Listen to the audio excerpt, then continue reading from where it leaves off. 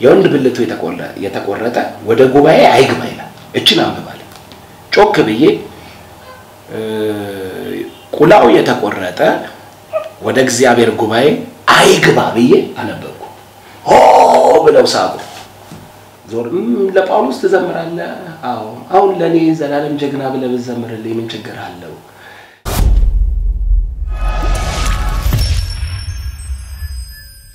ምን gender ላይ ስለዚህ የእግዚአብሔር ፍጡር ያለውን እኔም ልመራመርና gender ሁለት ነው ማለት ጾታ ሁለት ነው።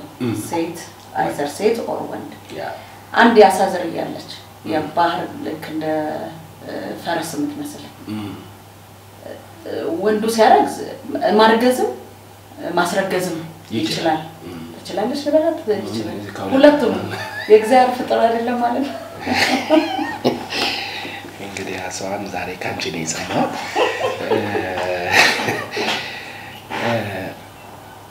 አወላለድ ጥያቄ ያለው አይመስለኝም።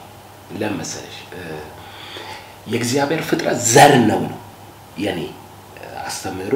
እግዚአብሔር originally በምድር ላይ እሱ የፈጠራቸው በሙሉ ዘር አላቸው ነው። ዘር አላቸው ማለት እንቁላል ጥሎም ይዋለዳሉ። mammals ኦች አሉ፣ እንቁላል ጣዮች አሉ። different የአበዛዝ ስርዓት አለ። ስለዚህ ያቺ የምትያት ባህር ውስጥ ያለችው horse ሁለቱንም kind ናስቴ ሊሆን ይችላል። ግን ዘር ካላት creation ናት። የሁለት ነገር የሁለት ዘሮች እንዲህ ብዬ ልንገርሽ፣ የሁለት ዘሮች ቅይጥ ከሆነች evolution ናት፣ የሆነ mix ናት ማለት ነው። አንድ ነገር ወደ ሌላ ነገር process አድርጎ የመጣ ማለት evolution ስል እኔ አንድ ነገር ወደ ሌላ ነገር ቅርጹን ቀይሮ ምን ሲል ሲመጣ ማለት ነው። ሰው ስለዚህ እህልንም ብትወስጂው ማለት ነው። ለምሳሌ ምርጥ ዘር ተብሎ ይሰጣል አይደል? አሁን ምርጥ ዘሮች ደግመሽ ትዘሪያለሽ ወይስ አጭደሽ ትበያለሽ? አንዴ ትዘሪዋለሽ፣ ደግመሽ እኮ አትዘሪ። መከሬ መጣ ቆይ ይችን ለዘር ብሎ የሀገሬ ገበሬ ቤቱ ያንጠለጥላታል አይደል? ምርጥ ዘር ከሆነ ግን ይበላዋል እንጂ ደግሞ አይዘራው። አየሽ፣ ካጨደው በኋላ አይበላው። ዘር እንደገና ምርጥ ዘር የፈበረኩት ናቸው የሚሰጡት። ስለዚህ አሁን ሌላም ብዙ system አለ ውስጡ። ማናወራቸው ምናልባት አሁን መጽሐፍ ቅዱስ ቅዱስ መጽሐፍ ነው። አንዳንዶች በቃ የእግዚአብሔር ቃል ነው ሙሉ ለሙሉ ብለው ነው አንተ ደግሞ መጽሐፍ ቅዱስ ውስጥ ያለው ቃል የእግዚአብሔር ቃል ብቻ የሰውም ቃል አለበት ብለህ ነው የምታምነው። አያፋልሰው ማለት መጽሐፍ ቅዱስ የእግዚአብሔር ቃል ነው ካለ የሰው ቃል ካለበት ልናምነው አንችልም ማለት ነው። መጽሐፉ አጠቃላይ ልናምነው አንችልም ሊባል አይችልም። ምክንያቱም የመጀመሪያው step መጽሐፍ ቅዱስ ውስጥ የእግዚአብሔር ፈቃድና ንግግር ብቻ ያለበት ሀሳብ አይደለም። እግዚአብሔር ከሰው ጋር የሚያወራው ነው። እግዚአብሔር ከመልአክ ጋር የሚያወራው አለ። እግዚአብሔር ከሴጣን ጋር የሚያወራው አለ። ሴጣን ከሰው ጋር የሚያወራው አለ። ሰው ከሰው ጋር የሚያወራው አለ። ይሄ መጽሐፍ የታሪክ መጽሐፍ ነው። በዚህ የታሪክ መጽሐፍ ውስጥ የእግዚአብሔር የልቡ ፈቃድ አለ። አየሽ፣ ለዚህ ነው ሲጠቀለል ከእግዚአብሔር ጋር የሚገናኝ ነገር ያላቸው ብቻ ነው እዚህ ውስጥ የሚጻፉት። ለምሳሌ መጽሐፍ ቅዱሱ እየተጻፈ መጥቶ ልክ ዮሴፍ ላይ ሲደርስ ይቆምና አራት መቶ ሰላሳ ዓመት ከዘለለ በኋላ ሙሴ ላይ ይጀምራል። አራት መቶ ሰላሳ ዓመት ሰው አልኖረም? ኖሯል። ለምን እዚህ ውስጥ አልተጻፈም? እስቲ ታሪኩ ከእግዚአብሔር ጋር የሚያያዝ ሰው ካልተነሳ የእግዚአብሔር መጽሐፍ ውስጥ አይጻፍም። ግን ሰውየው የለም ማለት አይደለም። ሙሉ የእግዚአብሔር ሀሳብ ነው ማለት አይደለም። ለምሳሌ እግዚአብሔር ሙሴን ጠራው ብሎ ስለ ሙሴ ነው የሚጽፍልሽ። ሙሴን ሲያወራ ሙሴ ኧረ እኔ ኮልታፋ ነኝ እኔ አልሄድም ይላል። እቺን መልስ ሲጽፍ የእግዚአብሔር ቃል አይደለችም፣ ሙሴ ነው እያወራ ያለው ከእግዚአብሔር ጋር ማለት ነው። ስለዚህ የእግዚአብሔር መጽሐፍ ስለሆነ ከእግዚአብሔር ጋር ሪሌት የሚያደርጉ ጉዳዮች ሁሉ ይጻፋሉ። የእስራኤል ነገስታት ብዙ ጦርነት ወጥተው ሊሆን ይችላል። እግዚአብሔርን ጠየቁና እግዚአብሔር አብሬያችሁ እወጣለሁ አለ። ወይንም ደግሞ እግዚአብሔር ልኮ ነቢይ አብሬያችሁ አልወጣም አለ ሲል የጦርነቱ ድል ከእግዚአብሔር መለኮታዊ ድርጊት ጋር ስለሚያዝ የእግዚአብሔር መጽሐፍ ላይ ይጻፋል። ጦርነቱ ላይ የተጻፈቱ ግን ሰዎች አሉ። ጦርነቱን አብረህን ውጣ ብለው የለመኑት ሰዎች አሉ። ሲለምኑት የለመኑበት ቃላት አለ። ያም ቃል ሁሉ ይጻፋል ማለት ልክ እንደዚህ መጽሐፍ ቅዱስ ውስጥ በአራት ካታጎሪ የተከፈለ ነው። አንደኛው ቀጥታ ከእግዚአብሔር ልብ የወጣ የእግዚአብሔር ቃል አለ። እግዚአብሔር ራሱ ፈቅዶ የተናገረው ዘፍጥረት ላይ ዘፍጥረት አንድ ላይ እንዲህ ይሁን እያለ የተናገረው እግዚአብሔር ነው። ዘፍጥረት ሶስት ላይ ሲረግማቸው የተናገረው እግዚአብሔር ነው። አብርሃምን ሲጠራ የተናገረው እግዚአብሔር ነቢያትን መጥቶ በመንፈስ ቅዱስ ኃይል ትንቢት ሲያናግራቸው የተናገረው እግዚአብሔር ነው። ነቢያቱ አይደሉም። ሙሴን አፍ ለአፍ ሲያወራው የተናገረው እግዚአብሔር ነው። ከእግዚአብሔር ልብ ነው የወጡት ቃሎች። አየሽ። ከዛ ደግሞ ራሱ እግዚአብሔር ወልድ መጥቶ በሰው ልጆች መሃል ተናግሯል፣ ቃል አውጥቷል። ያ ቃል እውነት እውነት እላችኋለሁ ቃሌ ከሚያልፍ ሰማይና ምድር ቢያልፍ ይቀላል ተብሎ ተጽፎልናል። ይሄ የእግዚአብሔር ቃል አለው ማለት ነው። ሌላኛው ደግሞ የሰው ቃል አለ። እዚህ መጽሐፍ ቅዱስ ውስጥ ሰዎች ስለ እግዚአብሔር ይሁን ስለ አንድ ጉዳይ ይሁን ስለ ፍጥረት ይሁን የተለያየ ጉዳይ ላይ መልስ የሰጡበት ቃሎች አሉ። ታሪካዊ ክስተቶች ከሰው ጋር የተያያዙ ታሪካዊ ክስተቶች ለምሳሌ የኖህ በውሃ ሰጥመን መጥፋታችን ታሪካዊ ክስተት ነው። ይሄ ታሪክ ይጻፋል። የሰዶም እሳት መውረዱ ከእግዚአብሔር ጋር ይያዛል። ታሪካዊ ክስተት ይጻፋል።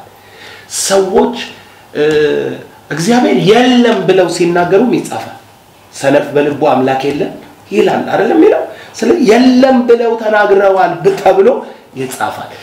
ኢየሱስን አይተውት ይሄ የዮሴፍ ልጅ አይደል እንዴ ሲሉ ይጻፋል። የሰው ነው ግን የእግዚአብሔር መጽሐፍ ውስጥ ይጻፋል። ሴጣንን ልንገርሽ፣ ሴጣን የሚናገራቸው ቃሎች የእግዚአብሔር ቃላት አይደሉም፣ ከሴጣን ልብ ውስጥ ነው የሚወጡት። ስለዚህ መጽሐፍ ቅዱሳችን ላይ እንደው በግልጥ ጌታ ኢየሱስን ሲፈትነው ሴጣን እንትና ውስጥ ሀሳብ አስገባ ምናምን ከሚለው ውጪ ሲፈትነው ምን አለው? ይሄን ድንጋይ ዳቦ አርግ አለው። ስለዚህ ድንጋይ ዳቦ አርግ የሚለው ቃል በፍጹም የእግዚአብሔር አይደለም፣ የእግዚአብሔር ቃል አይደለም። ለእኔ ወድቀ ብትሰግድልኝ ይህንን ሁሉ ክብር እሰጥሃለሁ የሚለው ቃል የእግዚአብሔር ቃል አይደለም። ግን ክርስቶስ እየተፈተነ ነበርና የሴጣንም ቃል እዚህ መጽሐፍ ቅዱስ ውስጥ ተጻፈ ማለት ነው። አየሽ፣ አሁን ይሄ ከኮመን ልምምድ እንውጣ። አንድ ቃል የመልአኩን ላሳየሽና ማህበረሰባዊ አስተሳሰባችን ይለወጥ የሚለውን አንድምታ ላሳየሽ። ማህበራዊ ማህበረሰባዊ አስተሳሰባችንን ከማየታችን በፊት ገብርኤል ዘካርያስ ጋር መጣ። የመጥምቁ ዮሐንስ አባት ጋር ተገለጠለትና ወንድ ልጅ ትወልዳለህ፣ የኤልያስ መንፈስ በፊት ይሄዳል፣ እንዲህ እንዲህ ይሆናል ብሎ ሲነግር ሽማግሌ ነው ሰውየው፣ ሚስቱም ሰማንያ ምናምን ነው። ስለዚህ እንዴት ይሆናል አለ። በጊዜው የሚፈጸመውን ቃሌን አላመንክምና ስለዚህ ዲዳ ትሆናለህ አለ። ይሻው ያሰመረበት ነጥብ ምንድን ነው ብለሽ ስትጠይቂ የተሰመረው ነጥብ simple ነው። ዲዳ ትሆናለህ ያለው እግዚአብሔር ሂድና ዲዳ አድርገው ብሎት አይደለም። እግዚአብሔር ያለው ሂድ ልጅ ትወልዳለህ በለው ነው። ሰውየው ግን መልአኩ በጊዜው የሚፈጸመው ቃሌን ይዤልህ የመጣውን የምስራች አላመንክምና ምልክት እኔ በእግዚአብሔር ፊት ምቆም ገብርኤል ነኝ አይደል ያለው። እኔ በእግዚአብሔር ፊት ምቆም ገብርኤል መሆኔን እንድታውቅ ዲዳ ትሆናለህ። አፉን ዘግቶት ሄደ። የማ ቃል ነው ዲዳ ትሆናለህ የሚለው? የገብርኤል ቃል ከገብርኤል ልብ ለምልክትነት የወጣ ቃል። አንዳንድ ሰው አርቆ አስቦ ገብርኤል የእግዚአብሔር መልእክተኛ አይደል ምናምን ብሎ ሌላ እንትኑ ተረት ውስጥ ሊገባ ይችላል። ሁሉን ሰብስቦ ማለት ነው። አንድ ጊዜ አንድ ነገር ተፈጠረና በአንድ ቤተ ክርስቲያን ፊት ለፊት እያለፍኩ ስለ ሙታን ትንሣኤ እየተናገሩ ሙታን ኢየሱስ ክርስቶስ ብቻ ነው ከሞት የተነሳ በኩር አሁን ከሙታን ተነስተዋል እነከሌ ብሎ ያው ሃይማኖት ጥሩ ስላልሆነ አልናገረውም እንጂ ተናገሩ። ሃይማኖታቸው ውስጥ ያለ እከሌም ከሙታን ተነስቷል እሷም እንደ ልጇ ብለው አሉ። ያው አልናገርም አሉ እና ጆሮዬን ጣል አድርጌ ምን አይነት ጥቅስ ሲጠቀሙ ይሆን መጽሐፍ ቅዱስ ብዬ ሳስብ በውኑ ለእግዚአብሔር የሚሳነው ነገር አለን የሚል ጥቅስ ተጠቀሙ ማለት ነው። እና እበራለሁ ብዬ እኔም በውኑ ለእግዚአብሔር የሚሳነው ነገር አለን ማለት እችላለሁ። ሺህ ዓመት እኖራለሁ ብዬ በውኑ ለእግዚአብሔር የሚሳነው እንትኑ አይሄድም። አሁን ክርስቶስ ከሙታን ተነስቷል ስንል ቅዱስህን መበስበስን ያይ ዘንድ አትሰጠው የሚል ቃል አለ። እግዚአብሔር ከእንቅልፍ እንደሚነቃ ነቃ የሚል ቃል አለ። እግዚአብሔር ተኝቶ ነበር። መጽሐፍ ቅዱስ እንቅልፍ የሚለው ሞትን ነው አይደለም። ስለዚህ ከእንቅልፍ እንደሚነቃ እግዚአብሔር ነቃ ይላል። እንዴ እግዚአብሔር ለመጀመሪያ ጊዜ ተኛ ማለት ነው አይደለም። የክርስቶስን ሞት ነው የሚናገረው። አየሽው? እነኚህ ቃሎች ግልጽ ትንሣኤ እንዳለ ያሳዩሻል። በውኑ ለእግዚአብሔር ሚሳኑ ያለ ወይ ካልሽ ግን የፈለግሽውን ሀሳብ እሱ ውስጥ አሁንም እግዚአብሔርን እንደዚህ ጠምዝዘው በብዙ ነገር ውስጥ ነው እየከተቱት ያሉት የአስተሳሰባችን መጽሐፍ ቅዱስ ብሎ ሃይማኖት የሚቃወሙ ሰዎች የእናንተ መጽሐፍ ቅዱስ አይደለም። አንድ ቀን አንዱ አለኝ ማለት ነው ስንከራከር፣ ቅዱስ መጽሐፍ የላችሁ ይህን መጽሐፍ አንተ ሰው ፊት ሳታፍር ታነባለህ አለኝ። አዎ አልኩት። ይሄ መጽሐፍ ቅዱስ ነው አለኝ። እና ይህን ታነባለህ አለኝ። አዎ አልኩት። ካፌ ውስጥ ነው የምንከራከር። ዘህልቁ መጽሐፍ አውጥቶ ሰጠኝ። ዘህልቁ መጽሐፍ ላይ ምን ይላል? የወንድ ብልቱ የተቆረጠ እኔ አሻሽዬ ነው የምነግርሽ፣ ወይንም የወንድ ብልቱ የተቆረጠ ሚል ነው። ያው anyway የወንድ ብልቱ የተቆረጠ ወደ ጉባኤ አይግባ ይላል። እችን አንብባል ጮክ ብዬ ቁላው የተቆረጠ ወደ እግዚአብሔር ጉባኤ አይግባ ብዬ አነበብኩ። ሆ ብለው ሳቁ።